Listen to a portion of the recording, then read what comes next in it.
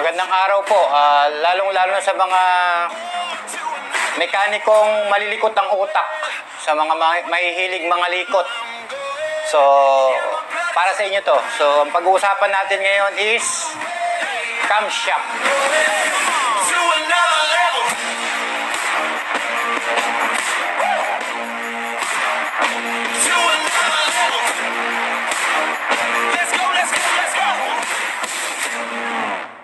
Marami sa atin ang gustong malaman kung ano ba talaga ang dapat gamitin na camshaft. Pero maraming nalilito. Maraming ideas sa internet o sa Google kung ano-ano na iba-ibang ideas. Minsan nalilid tayo sa maling kaalaman. So, very basic ang explanation natin dito. Hindi natin kailangan pumunta sa napakalalim na ideas. So, bibigyan ko lang kayo ng konting tips.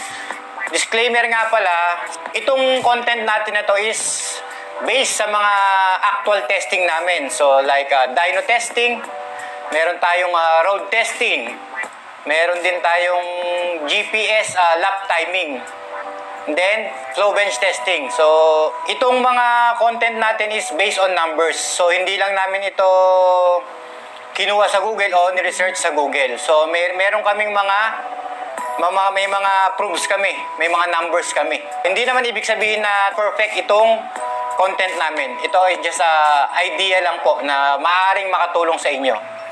Karamihan kasi sa atin ang gusto high lift, high duration, di ba? Parang nasa utak kasi karamihan ng mga gustong gumamit ng camshaft is dapat mataas ang lift, mataas ang duration. Pero mga bossing, sa tingin nyo ba, mataas ang lift, mataas ang duration, malakas na? So, yun ang mga kadalasang kamalian ng mga mekaniko. Di ba? Kasi kadalasan yun ang gusto. Pero ito, konting tips natin. So, ngayon, pag-usapan natin si camshaft ni RS8. Sa camshaft ni RS8 is, meron tayong dalawang klase. Yung tinatawag natin na Magic Profile. So, ito, Magic Profile, ito yung paborito ko. Depende pa rin yan sa setup settings ng mekaniko. Then yung isa is ah, stage 2. Itong stage 2 is ah, mas mataas ang lift nito and mas mataas ang duration. Pero hindi ibig sabihin na mas malakas na si stage 2 kay stage 1. Eh, pwedeng mas malakas si stage 1 kay stage 2. Depende sa gamit. Ah, depende rin sa paggagamitan. Napakadaming factor para pumili tayo ng camshaft, di ba? Hindi basta stage 2, stage 3. So, iisa-isahin natin yan from the basic, okay? So, una nating itakil is si Magic Profile or si Stage 1. Kailan mo dapat gamitin si Magic Profile at saan? Ba? Anong application? Okay, Magic Profile or Stage 1. Ito ginagamit to sa mga mabibigat or mabibilis umarangkada. For example, sa circuit racing, sa mga nagbubundok, sa mga nagbe-banking. 'Di ba? Kasi pag nagbe-banking ka, ah, ang silinyador mo is on and off, patay sindi. So, ibig sabihin, ang advantage ng mga low duration, malakas ang torque nila. Compare sa mga high duration. So, yun ang advantage ni stage 1. For example, nasa bundok kami o nag-rides kami. For example, mga upak boys, may hilig yan. So, ang paborito nila is pag binigyan mo, andun kagad yung power. Hindi mo nahihintayin, umihiyaw pa pero hindi tumatakbo. Yun ang advantage ng maliliit na duration. Ito ang specialty ni Magic Profile. Torquey siya. For example, ang paggagamitan natin is mabigat na motor, mabigat na rider o matabang rider, 'di ba? NMAX, pambiyahe, panturing. Hindi mo siya pwedeng gamitan ng mataas na duration o mataas na li o mataas na duration. Kasi bakit? Ang tagal kumuha ng power band. So, ang difference lang talaga nila is power band, kung paano mo kukunin yung power band mo. Si Magic Profile, ang bilis kumuha ng takbo. Parang makukuha niya kagad yung RPM mo ng may torque. So, yun si Magic Profile. Maraming may gusto nitong camshaft na to. Hindi lift and duration ang importante. Ang pinaka-importante sa pagpili ng camshaft is camshaft timing. Ah, nothing will beat timing. Hindi nakukuha sa lift or sa duration yan. Timing pa rin ang pinaka the best dyan. Hindi na natin kailangan i-tackle yun dahil masyado ng malalim. Pero pinaka the best dyan is timing. Gumamit kayo ng degree wheel. Di ba? Sa susunod na content natin ay pag-uusapan natin yung mga malalalim na terms sa camshaft. So, yun lang. Si stage 1 is ginagamit sa mga torque, yung on and off ang silinyador, gusto malakas umarangkada, buhay na buhay yung RPM, ito yon.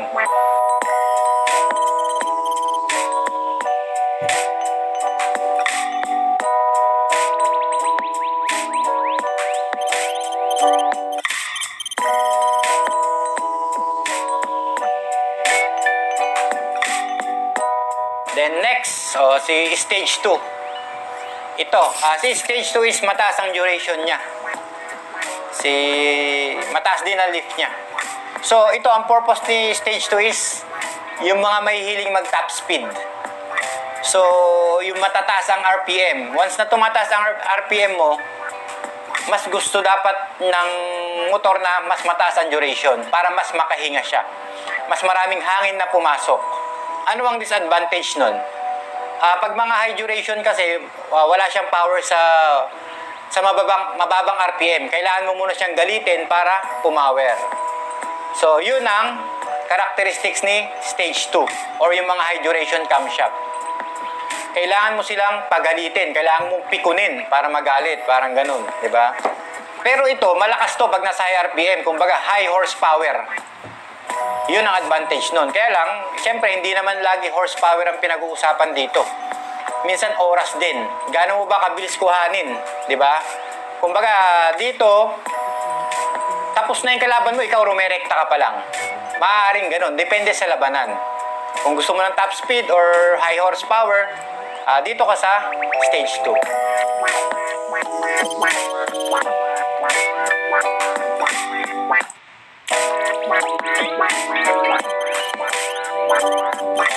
So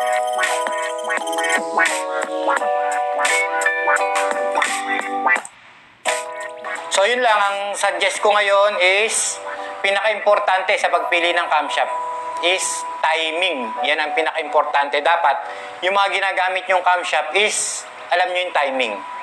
Hindi ko naman sinasabing pangit yung mga camshaft ng mga ibang brands. May kanya-kanyang sikreto yan. May kanya-kanya silang gusto.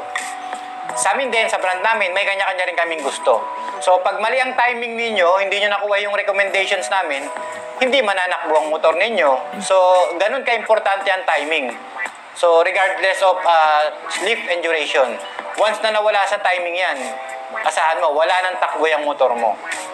So, advice ko rin sa mga customer, dapat pumunta kayo dun sa mekaniko na marunong mag-timing ng camshaft gamit ang degree wheel. Diba? Minsan, nangyayari kasi may mga ganyan. Ayaw manakbo ng motor.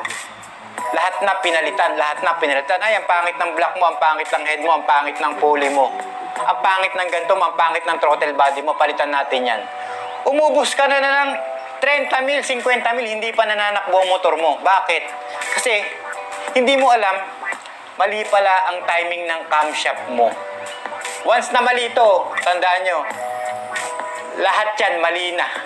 Lahat yan, lahat ng pyesa nyo mahina. 'Di ba? So para mapaiwas ng gastos dapat tamang tools at tamang ideas. Ito sa amin, itong camshaft namin is proven and tested namin to. Pag ang gumawa nito, marunong mag-timing, may degree wheel, 100% po kaya namin i-money back guarantee. Balik namin ang pera nyo pag hindi na nakbo. So, yun lang naman po. Ah, hanggang dito na lang po. At sa susunod po, marami pa tayong content na mas malalalim pa. Sa ngayon, so mga medyo brief lang muna. Okay? Maraming maraming salamat mga bossing. So, yun lang. And kita-kits po tayo sa susunod. At kung may mga tanong po kayo, ah, mag-message lang kayo sa page namin. Uh, Red Motorworks. Ayan. Mga kamekaniko, sana lahat tayo matuto at sana walang pagalingan o walang bash. Di ba? May kanya-kanya tayong ideas. So, share lang tayo. So, anything na may hindi kayo gusto sa content natin is message lang kayo. No? So, hindi natin para manira. So, magtutulungan tayo. Okay? Thank you, mga bossing!